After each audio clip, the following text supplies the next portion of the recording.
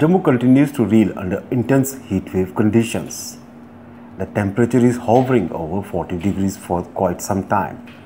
The meteorological department has predicted there will be no major relief in the next seven days, and the temperature could hit 45 degrees too.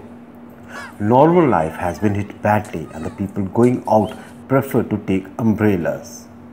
To beat the heat, many people, especially children, are visiting Canal for the much needed relief.